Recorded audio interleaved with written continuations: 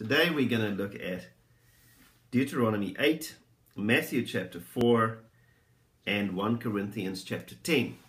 So if you want to read the readings for a start, um, Deuteronomy 8 verses 1 to 5, Matthew chapter 4 verses 1 to 11, and 1 Corinthians 10 verses 1 to 13. And perhaps what we can do is start with Deuteronomy chapter 8 and Matthew chapter 4. And I want us to have a look at the similarities there between these two passages. Now, first of all, of course, we find that hunger is present in both passages. We find in Deuteronomy 8 it refers to the Israelites uh, being hungry in the desert. And then here in Matthew chapter 4, um, Jesus is taken into the spirit by the spirit into the desert to be tempted by the devil after fasting 40 days and 40 nights he was hungry so it is interesting that many people believe that in Matthew chapter 4, uh, verse 4, where Jesus answers the devil, when the devil says to him, If you are the Son of God, tell these stones to become bread. So he is actually saying to him, Use your divine power, use the power of God to make bread for yourself out of these stones. And Jesus then quotes a verse from Deuteronomy chapter 8. And it's all familiar to us. Um, he says, It is written, man does not live on bread alone, but on every word that comes from the mouth of God.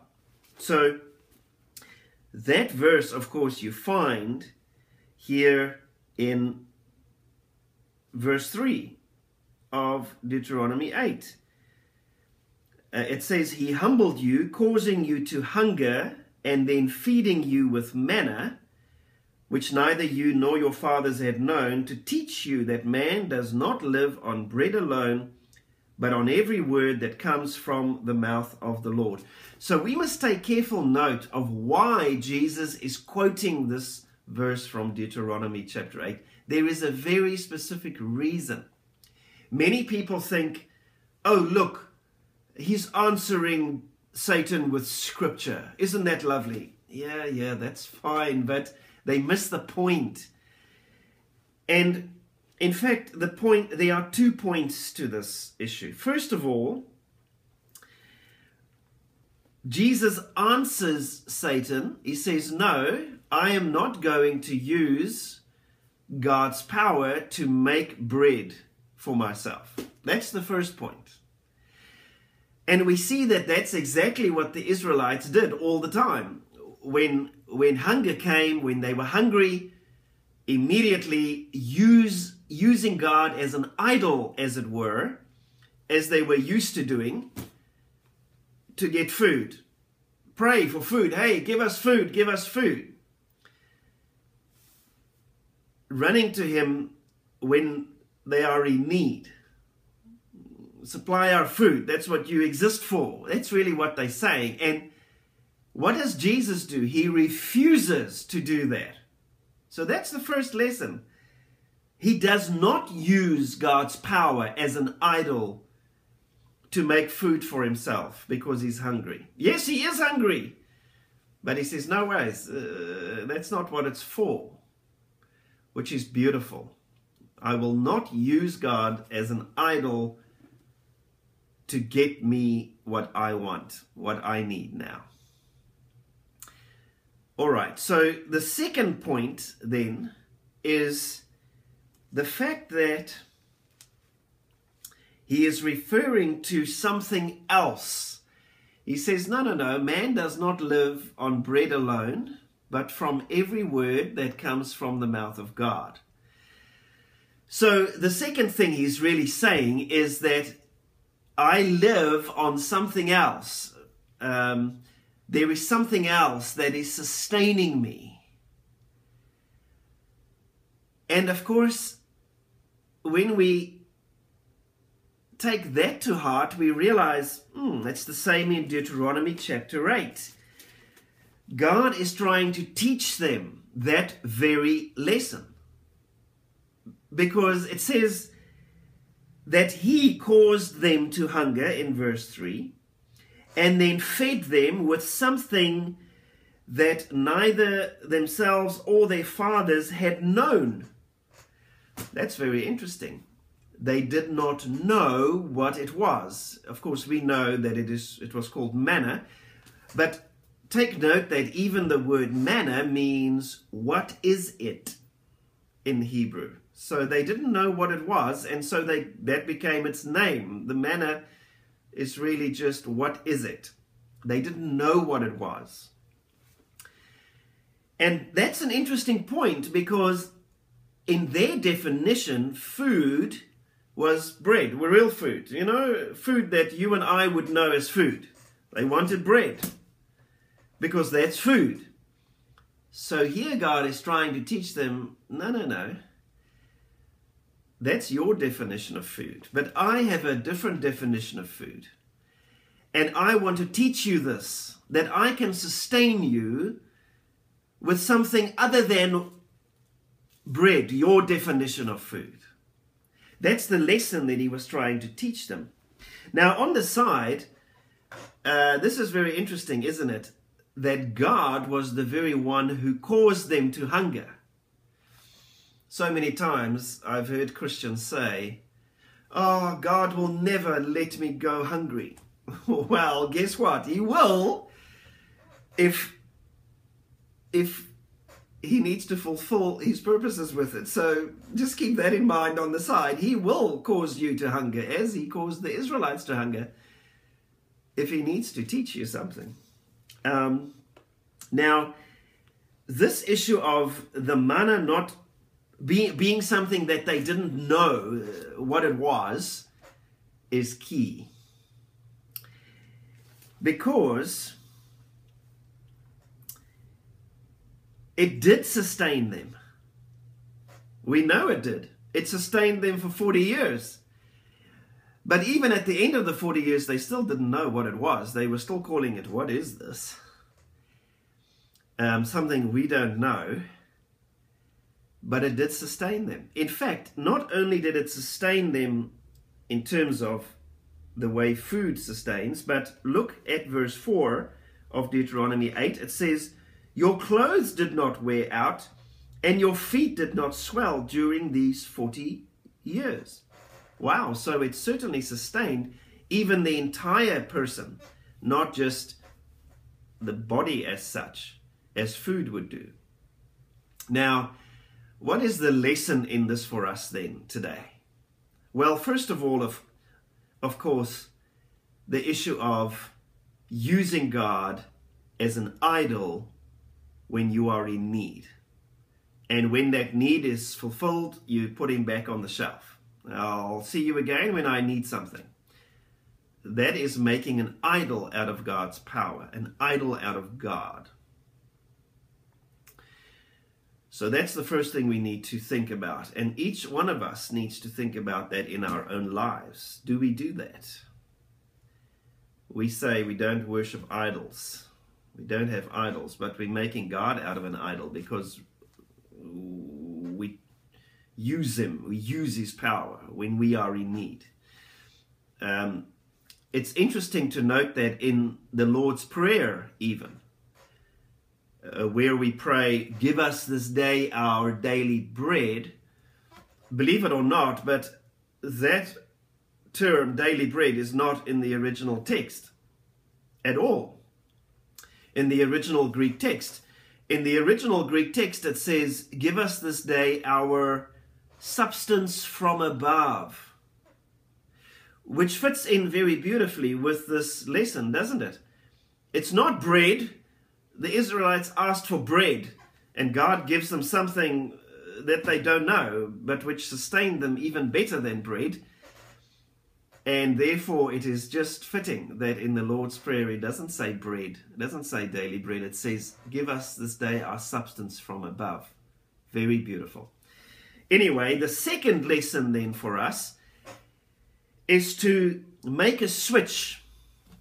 Now, I gave you a third reading this morning, uh, the one from 1 Corinthians chapter 10, and let's just go there for a moment. Now, Paul is writing something here about the Israelites, and interestingly enough, he refers to the manna as spiritual food. So you can read it there in verse 3 of 1 Corinthians chapter 10. He calls the manna spiritual food. And then he goes on to explain how they tested God in verse 9.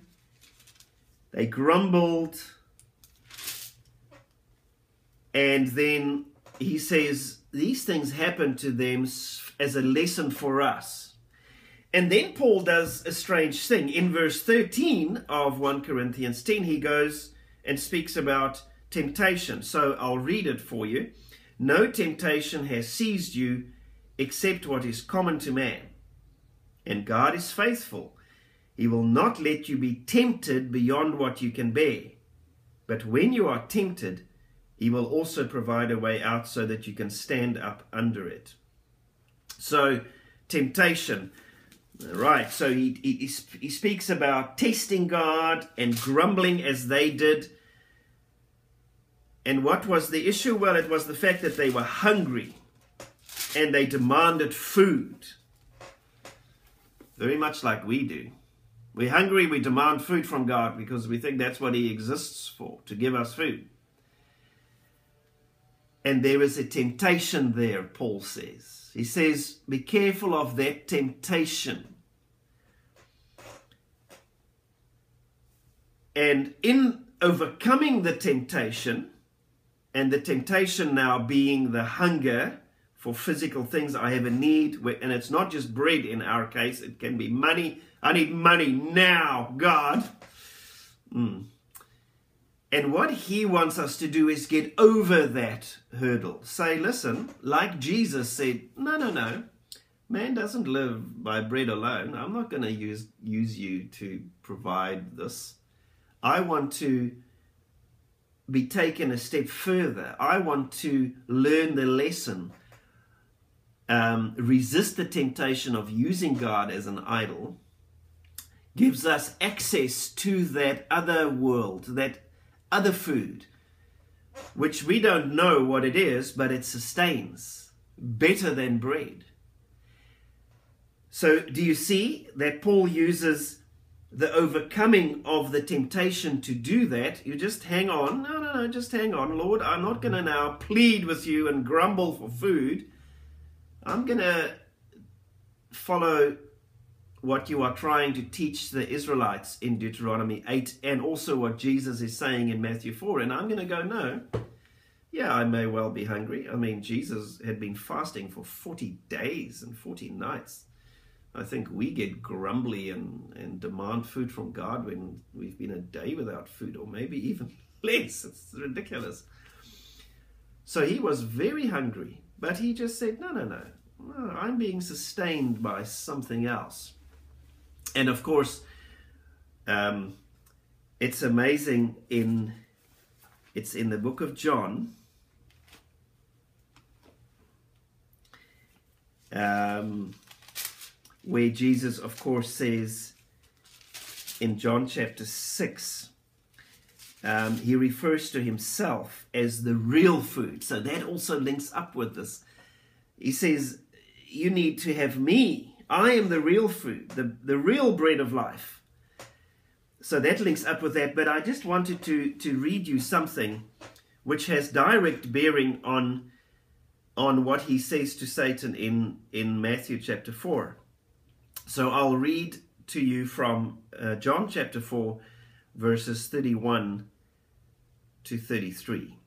Meanwhile, his disciples urged him, Rabbi, eat something. But he said to them, I have food to eat that you know nothing about. Then his disciples said to each other, Could someone have brought him food? How funny. But do you see, Jesus knew this food which was beyond bread. He was being sustained by something other than bread. And we need to get to that place. And, and Paul explains to us in 1 Corinthians 10 how you get to that place. You resist the temptation of using God as an idol to get you what you need right now.